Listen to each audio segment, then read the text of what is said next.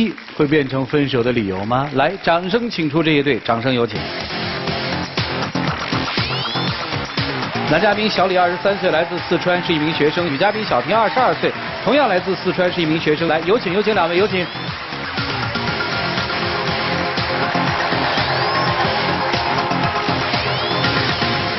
欢迎两位哈，是同学对吗？学什么专业的？告诉大家。学临床医学。你们这是几年的呀？我们五年。现在大几了？大五实习了吗。谈了是几年来着？谈了两年。谁先对谁表白的？我追的他嘛。哦，为啥呀？他之前是这种学霸，就是班班上就不怎么爱讲话。我们大学同学嘛，就有一次参加聚会啊，他突然来了，去 KTV，他还唱歌，唱一首情歌，特别好听。呦呦，来唱一首情歌，就当时俘获他芳心的那个情歌，唱一下，唱一下，你们想听吗？鼓掌，鼓掌，哎对，鼓掌，鼓掌，来唱一下。我我觉得这么多人，我觉得不好意思。来一下，来一下，来一下。我。我们下去再唱吧，不唱是吧？嗯，对，人太多了，我。哎呦，羞涩了啊！算了，不唱就不唱吧，唱的很好听。然后呢？就就当时他唱的情歌，你知道那种小女生听了那种唱情歌吗？就心里小鹿乱撞啊，脸红心跳嘛，就想这女这不是就是我的菜吗？之后我们就我加他 QQ，我就聊信息，啊然后就为了多点时间跟他接触嘛，我就说能不能管他叫师傅，让他教我功课。本来成绩也很好，我们就吃饭啊。学习啊，就班上同学都以为我们俩在一起了，然后他都不知道我对他有意思，还是半年之后我跟他说，我就说你毕业之后你当医生，你做别人师傅，我能不能做师娘？他才反应过来，然后我们才在一起。他当时说就说，嗯嗯，我当时不知道你对我有那意思，就以为单纯教我功课呢。我整个人特别无语，你知道吗？这情商低到什么程度了？啊，你不就喜欢这个吗？情商高不就早被别的小路给撞走了，对不对？怎么了啊？我当时不是也没想那么多吗？他那天晚上给我说让我做他师傅，然后指导一下他的功课。我想的就是。就是指导你学习嘛，然后我也没往其他方面想，然后谁知道有那意思了？啊，那有这意思好还是不好呢？我觉得也挺好的吧。这是你初恋吗？对，是我的初恋。哎呀，接着说，接着说，再后来怎么了？我们俩现在的矛盾就主要出在就他情商很低，然后我跟你说，我们都两年了是吧？正常人就应该有很多小惊喜浪漫啊，就两年，他做过一次让我惊喜的事儿就。送过一次花，就那一次花还让我特别生气。他把 医院里那种一大束别人送病人不要的百合花，他抱回来送给我。我看见那个早日康复那个牌子还丢在那个桌子上面。我当时想，你送病人的话，你送给我还以为我高兴，我生气，他都不知道为什么。那天我不是刚好去医办去医院然后上班嘛，然后一位女病人说她因为花粉过敏嘛，然后把百合花送给我。我当时一看这么一大束百合花，我就。理论上来讲，一个女的肯定就喜欢，然后我觉得她肯定也会喜欢，然后我就带回去，然后送给她，挺好。你看嘛，他整个看书看傻了，理论上喜欢，你把送病人的话送给我，以为我会喜欢吗？就结果我就像教小孩一样教他，我就说。送女孩，你送玫瑰，你自己用点心，你去买，你买一束花对你来说不是什么难事。结果那我后来不是补偿你了吗？给你买了一束玫瑰花呀。你看嘛，他不说这事，这说这事我真的特别来气。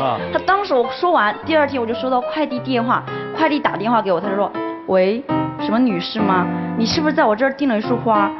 我当时整个人就，这整个一想，肯定是呆子干的。啊我说完，他马上就去做，然后结果我就自己下楼，自己牵着那快递，自己把那个花捧上来，就感觉是我自己送我的，就没有那种情调了，情侣之间的。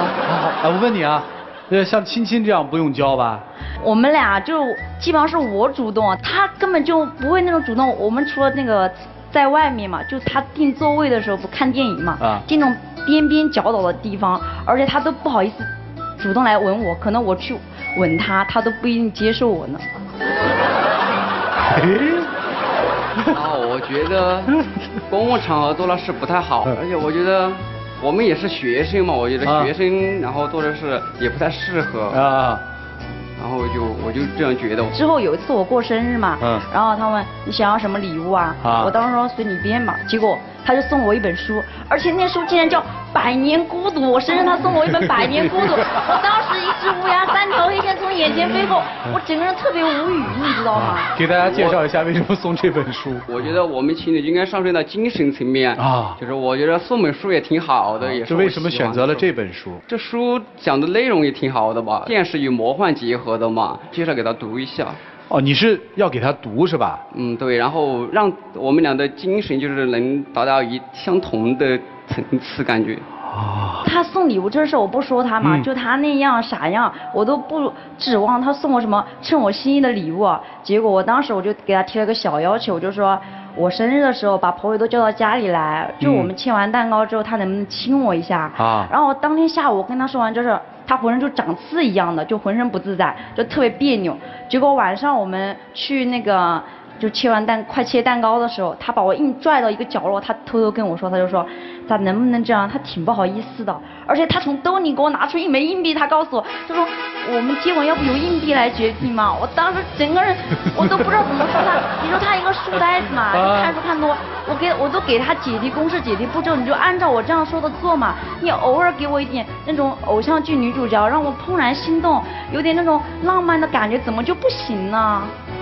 那我当时不是觉得在那么多朋友面前，然后挺尴尬的嘛，而且我当时也没法呀，就觉得抛硬币挺合适的，而且我觉得我吻技也就五十分左右，我觉得挺低的，没必要这样做。你看嘛，接吻这个是都用分值来衡量，五十分，好，你说你五十分，我给你时间，你提高到八十分，结果不是网上有个说法嘛？就是用舌头给樱桃梗打结，可以提高吻技嘛。当时我就去买了一盒樱桃，我就坐在那儿吃，然后我就让他站在那儿练，他练了一下午，都还杵在那儿没半天呢，我都吃完了。我走过去，我这样望着他，我问他，我就说。你知道怎么提高吻技吗？然后他当时他看着我，然后突然愣了一下。我当时心里特别激动，我这么的开窍，他肯定是不是过来吻我呀？我都快闭上眼睛了都。结果他突然拍了一下手，他就说了一句，他就说我得上网找资料去。我当时我真的 我都不知道怎么说他，我当时就想解剖兔子一样把他给解剖，看脑子装什么。这段故事我们申请版权啊，那所有编剧不许偷我们这故事啊，太有意思。你现在会不会？我现在没会，因为没找到那本书。我就想找本书，然后照着念，然后一念就会了。他是整个人看书把自己看傻了，你知道吗？情商低，而且特别不会聊天。我们俩在一起就没有情侣之间那种嘻嘻哈哈，就一起欢乐的成分。就我们俩一起看电视嘛，就现在不是整容的女孩挺多的嘛。然后我当时就来了句，我说要不我也去整个容。结果他当真了，他当时。特别正经，他拍着我肩膀，他安慰我，他说没事我不喜欢漂亮的，我就开个玩笑，他都接不住我这话的梗儿，你知道吗？你 你确定你不喜欢漂亮的是吗？我当时也是实话实话，我不是不是，你告诉我实话，你女朋友好看吗？算好看吧，况且我就不喜欢那些什么微整的，什么大眼睛啊、S 腰的什么的。我觉得他基因里面有没那没那东西，也不会遗传给下一代啊。啊，好好好，谈了多长时间来着？两年。两年，我们听着就像笑话，在恋爱中的人得得苦成什么样哈？就有一次我妈视频跟我聊天，就是说见一下你的男朋友啊，然后就走过去，他们就见面嘛，就视频上看。然后我妈当时就你知道女丈母娘见女婿第一次客套一下嘛，她就说。我闺女毛病挺多的，你多担待着点儿，就多包容她一点儿。啊，她倒好，当时一本正经也安慰起我妈，她就说没事，阿姨，她那些被你宠出来的毛病，我一点一点全给她改掉。我当时我不知道怎么说她，我当时就想找个地方钻进去，我简直是一个呆子，就完全不知道我妈当时开玩笑呢。对我妈打电话问我，她说你什么眼光这是？我说孩子看上去有点傻傻兮兮的那种感觉。啊，对对对对。还好还好，对你好吗？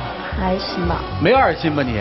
没二心呀。啊。但是我想说的就是，阿姨那件事吧，不是，不是阿姨当时这样说了吗？我当时没想到啊。啊。然后我就想的是顺着阿姨的意思讲下去，她不是说有毛病吗？我就想着对症下药没错呀。然后我就把毛病给她改掉，应该就没有问题。行了，你就别解释了，越解释越乱哈。你们现在应该在实习对吧？哎，对。你说实习这事，我真的特别来气。他做事跟正常人思维都不一样。有一次吃饭，那个老师就问他说：“你有没有对象啊？”他当时没有。我是你女朋友，他当时回答没有。你说？当时不是刚去医院实习嘛，然后老师问我有没有对象，我就想，要是说有对象的老师肯定认为就是我没把心思放在学习上，我觉得。看来这臭小子不傻哎。对我，对我。对我的工作和实习可能会有一定影响，然后就这样说。你说你只是怕因为老师觉得你心思没用在学习上吗？还是说我没有跟你一起考研，就是我成绩不如你，我给你丢人了呀？就是就是因为他跟老师说他没对象那事儿，结果那老师给介绍一女孩，结果他就去跟那女孩相亲了。你说有有男朋友背着女朋友跟？跟其他女孩相亲的吗？我是你女朋友，你把我放在什么地位啊？我就想老师给我介绍的，我也不好意思拒绝，他是老师嘛。然后我就想的是，就我这样的正常女孩子看不上，所以我就去了。啊，你意思是说我不正常，我瞎了眼看上你了？就结果那个他跟那女孩第二次见面了。第二次还见了？啊，你第二次见面我就不说他嘛。结果他回来回家，他还告诉我，他就说。哦，我帮他让我跟他一块儿把这事瞒过去，叫我不要去医院找他，就这一年就可能就不要让他老是看见我嘛。我是你女朋友，你考虑过我的感受吗？我为什么不能去医院找你呀？主要是我这件事发生的有点超出我的预想，没跟着那几条步骤走。我觉得，他不是已经涉及到原则方面的问题了吗？然后我回去你还知道，然后给他解释了啊，所以女生觉得完全没法处了是吧？现在我就觉得他这种。低情上，而且就就是个实习那事嘛，我就感觉他完全没把我放在心上。到底对我们未来是有没有个明确态度啊？就之后发生一件事，就我心里就疑问就会更大，就产生更大。之后嘛，我闺蜜就准备结婚嘛，就叫我陪她去试婚纱。你知道那种小女生看见婚纱肯定心里就特别激动嘛，就肯定想向往啊那种穿上婚纱幸福的感觉。而且我羡慕别人就是相处半年，他们都发展成那样了。结果我就开玩笑问他，我就说。你打算怎么娶我啊？他当时犹豫了，他对我们未来都没有想法，他犹豫了。我当时不是觉着我们都是学医的吗？然后现在医院收的都是一些研究生、呀、博士生之类的，我就想我们两个学医的，然后就应该一起去考个研。当时我不是带着他一起学习考研吗？非常努力，然后复习到一半的时候，他突然跟我说他不想考研了。那你考了吗？啊，我考了，然后但是当时我很生气，我觉得，因为之前我付出了那么多，然后认真的教他，然后一起努力，他现在跟我说不考了。我就觉得我们两个对未来的一些打算可能就不太一样了。你考上了？哎，对。我当时我在想嘛，我一个小女生，我对自己没那么高要求，我没必要那么拼。我不考研，我觉得我没错啊。但是就是不是他去试婚纱那件事吗？之后我就觉得他有点不可理喻。为啥？因为他不是没事，然后就数落我，占罚我占军资，然后还整天唠叨。他罚你站军姿？对呀，经常这样站。经常啊？嗯，对。你为什么罚人家？就是他总说我唠叨，然后我当时他一直说我嘛，我心里肯定就我们相处两年，他都没给我们个说法，然后我心里肯定就你知道女孩子嘛，就那种有点发那个小牢骚啊，就让他去站了一下。他他人也比较傻嘛，呆子一样，我让他你真觉得他傻呀？你说他傻，他也不傻，他就对我们感情的事就不上心啊。问问他啊，嗯，想结婚不？打算以后等我考研，然后能找一个医院，找个稳定的工作。你不是考上了吗？啊，对呀，考上以后毕业，然后找个稳定的工作以后。就三年以后了呗。对。啊。安定以后再。打算跟谁结婚啊？呃，肯定应该是我现在的女朋友吧。老师给你介绍的对象看了？呃，看了，但是不太合适吧？我觉得。不太合适啊。就是也也也谈了是吧？啊，没咋谈就没咋谈，咋知道不合适呢？就随便说了一下。臭小子，一开始的时候还真被他骗了，你知道吧？女生其实还挺有领悟力的，她用了一个词，就是她对我们的事不上心。哎，我觉得你看法挺准确的。你觉得他爱你吗？就是我现在对我们未来，我都不知道他对我什么态度。嗯。那事儿嘛，他说我试婚纱，就是我总说他，结果他就跑出去，他就躲他朋友家，他骗我。他当时他就说他早上出去实习就很早嘛，然后晚上回来很晚，他就打电话跟我说，他就说他跟他朋友上自习去了。嗯就那段时间啊，我们见面很少，聊天也很少。我当时就感觉距离就越来越远，我也想拉近一下我们的距离。当时有一天早上，我就跟他说，我晚上能不能陪他上自习？结果他当时拒绝了我，我心里也挺纳闷的，我也挺疑惑呀。结果就跟着他，他根本就没有去他朋友家，你知道吗？啊。他就跑到外面去，他就躲我。你说他这种没情趣、低情商，结果他还嫌弃我，他现在还挑我来着。我们俩之间不是应该我选择他，他怎么现在就感觉还在挑我呢？明白了，明白了。来吧，你们看看应该怎么办吧。我们一起进入丘比特问卷。有一个翻译家叫朱生豪。他是一个特别沉默寡言、不会谈恋爱的人。嗯，他谈恋爱的时候就可以跟这个姑娘一直待着，一句话都不说。但是，他用了一种可能常人不太会用的方法去谈恋爱，什么？专门给老婆写情书。醒来觉得甚是爱你，我愿舍弃这一生，以此换来思念你。他只会这一招，这是不会谈恋爱。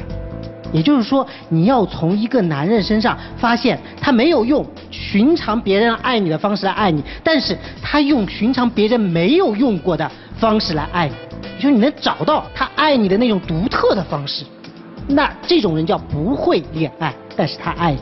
你一直说他情商低，或者说不知道谈恋爱，我说不是的，你知道他是什么吗？他是一个只用理性和逻辑来判断事情的人。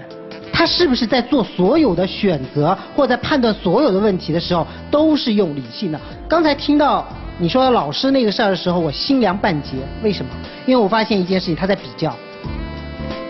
他是觉得那个人不合适，还不如你呢。他的理性和比较在起这个作用。所以你不要简单的把这件事情定性成为一个男人情商低或怎么样，你要再去找一找，他到底有没有用其他的方法来爱你。或者说，他其实一直在理性分析。你你年轻漂亮，啊，你你现在那个学历也不错，所以你跟我在一起是合适的。但有一天你跟我在一起，我已经主治医师了，你跟我在一起你不合适。那个时候他会怎么选呢？那个时候你几岁了？或者说那个时候你是不是还傻兮兮的，还站在原地等他学会爱你呢？姑娘，其实你是在整段关系里面最傻的那一个。你不要以为你在掌控一切。你沉浸在你的爱情之中，但是别人究竟是用什么方法来爱你，或者爱不爱你，要判断清楚啊！说完了。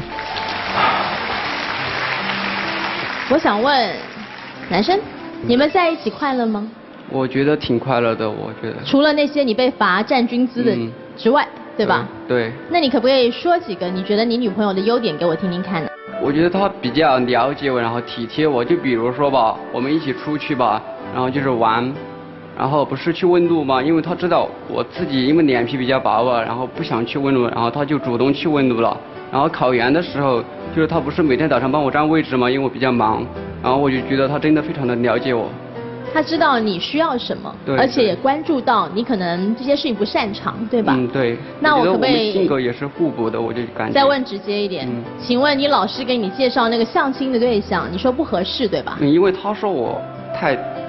死板了。万一他适合，那我肯定适合这我现在的女朋友啊。我这样说吧，嗯，我不觉得你是绝对不会爱的，但是确实在这段爱情里面，你表达出来的各种爱情智商，实在不咋地。也许在念书这回事儿上你表现的特别好，在考研这回事儿上你也表现的很好，也许有一天。你也会成为一个医生，但是我想说的是啊，医术这回事儿，除了要有技术，还得要有人的情感，我们才说人心人术嘛，对吧？一个好医生绝对不是只是刀工厉害，或者是判断神准，一个好医生要有爱有心，你同意吗？嗯，同意。所以，如果你喜欢他，不管你觉得他美不美、漂不漂亮。合不合适，了不了解你？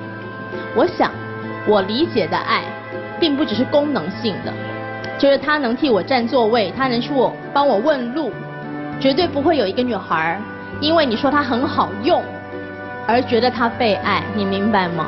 如果你真的喜欢他，如果你愿意学习爱这件事情，让自己更有人味的话。其实谈恋爱是需要用点心，而不是只用脑的。对女孩，我想问的是，那你觉得他爱你吗？他生活中做了很多事，其实也让我那种会产生小感动之类的。那我问你，你罚他站军姿的时候，你觉得他有可能会更爱你吗？没有，因为你觉得你一直唠叨他，或者是现在各种念他，会觉得说好没情商啊，好笨啊，好傻啊的时候，你觉得他会进步吗？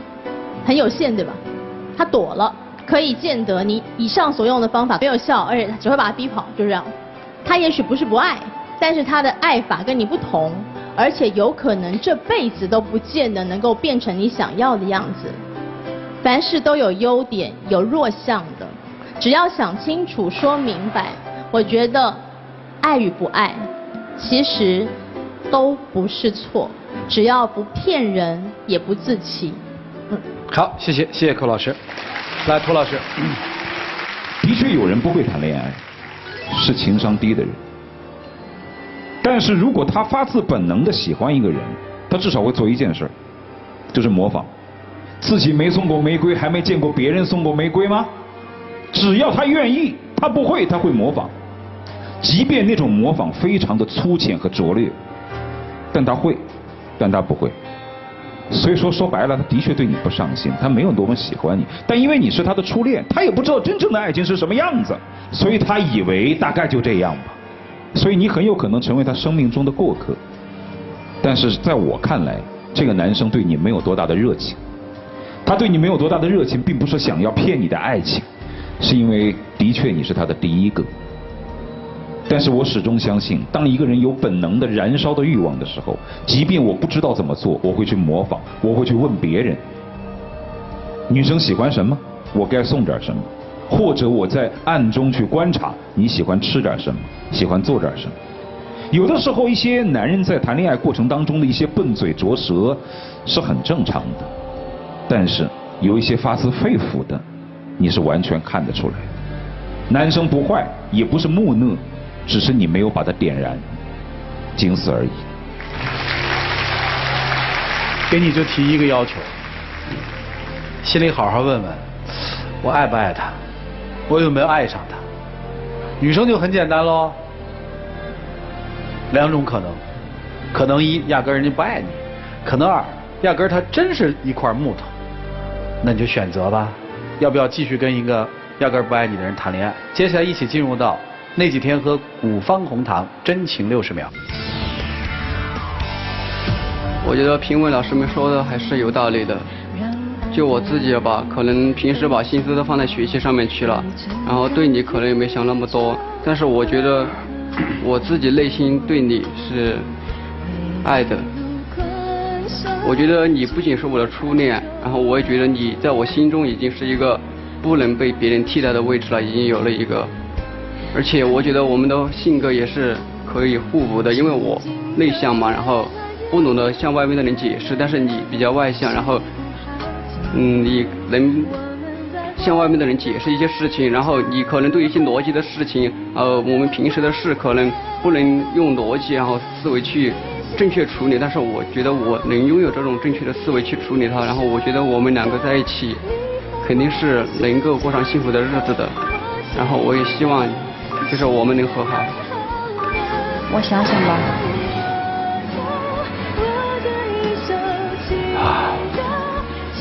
回吧，两位，啊，回吧，啊。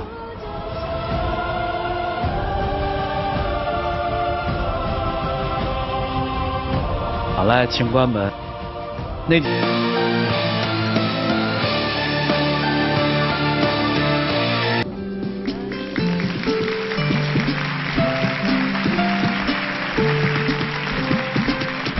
谢他们的浪漫吧，各位请见证。死了，带这个。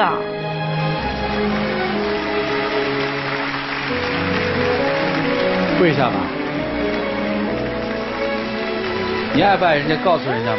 我真的很爱你，希望我们能越来越好。好，拥抱、亲吻，开始。拥抱、亲吻。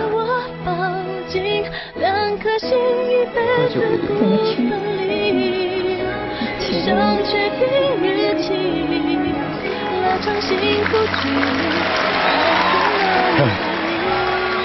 亮灯啊！哎，观众刚才为什么鼓掌？没看懂。题目明明就是男生要亲女生，结果又是啊？不是变，怎么会变反过来呢？来吧，而且女生亲他的时候，他让开了。对。哎，行了，到底是什么事儿？你们自己琢磨吧。谢谢两位，请回。嗯。只是不经意。